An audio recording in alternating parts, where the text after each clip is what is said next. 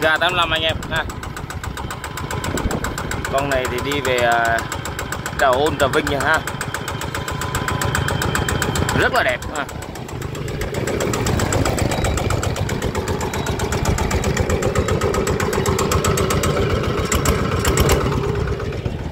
Con này thì đi ờ, đâu không biết đi 800 này để coi địa chỉ lại.